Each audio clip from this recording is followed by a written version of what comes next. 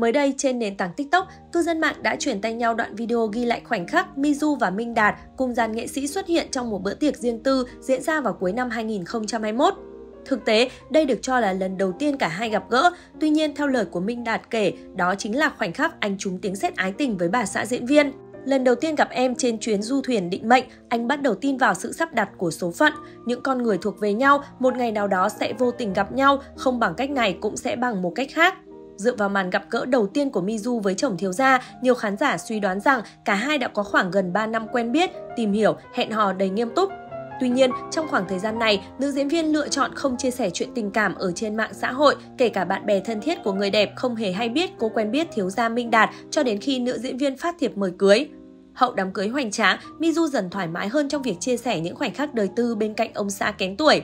Hiện Mizu đang tận hưởng những ngày đầu tiên trong cuộc sống hôn nhân với chồng thiếu gia, cặp đôi dành thời gian hưởng tuần trăng mật tại Nha Trang, từng khoảnh khắc ngọt ngào, tình bể tình của cả hai khiến netizen đứng ngồi không yên, bàn tán sôi nổi ở khắp các diễn đàn lớn nhỏ. Theo đó, vợ chồng Son đã có những giây phút hạnh phúc, thoải mái hưởng thụ cùng nhau tại một resort sang trọng. Trong đoạn clip được đăng tải, thiếu gia Minh Đạt bất ngờ khoe cận body vạm vỡ, săn chắc. Có thể thấy đây là lần hiếm hoi nam doanh nhân hé lộ hình thể của mình. Trong khi đó, Mizu cũng diện đồ tắm và ghi điểm với lưng trần gợi cảm. Đặc biệt, Minh Đạt còn gây sốt khi chủ động ôm chầm Mizu vô cùng tình tứ. Khoảnh khắc ngọt ngào này của cả hai sau đám cưới đã khiến cộng đồng mạng không khỏi suýt xoa, ngưỡng mộ. Sau khoảng thời gian hẹn hò kín tiếng, vào tối 29 tháng 6 vừa qua, đám cưới Mizu và thiếu gia Minh Đạt đã chính thức được diễn ra. Ngày trọng đại của cặp đôi cũng đã có sự góp mặt của dàn sao đình đám gồm những cái tên như Trường Giang, Nhã Phương, Lan Ngọc, Mai Phương Thúy, Quốc Trường, Lan Khuê, Sam, Puka. Trong đám cưới, Mizu lần lượt khoe nhan sắc trong 4 chiếc váy ấn tượng, trong đó có một chiếc được thiếu gia Minh Đạt đặt may tại Pháp. Tổng chi phí các chiếc váy cưới của Mizu có thể lên đến vài tỷ đồng. Về phần không gian tiệc cưới, ekip đã chọn hoa tươi đắt đỏ, tổng cộng có 15.000 bông hoa tuyết pha lê được đặt làm thủ công, phủ kín lối vào lễ đường, sân khấu, sảnh đón khách đúng với chủ đề Tuyết giữa mùa hè.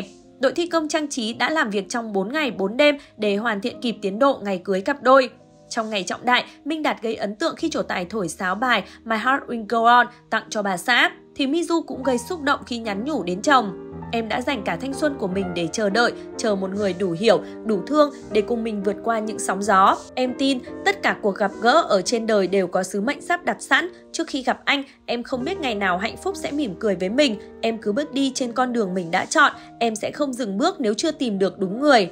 Em vẫn tin vào định mệnh, tin vào sự kiên trì của con người. Em tin rằng giữa thế giới bao la rộng lớn này sẽ có một người đặc biệt dành riêng cho mình, đang ở đâu đó và chờ đến ngày hội ngộ cùng em. Cho đến ngày em gặp anh trên con tàu định mệnh đó, em nhận ra con đường mình đang đi, sự kiên nhẫn chờ đợi hạnh phúc của mình, tất cả là để được ở bên anh, một nửa của cuộc đời mình.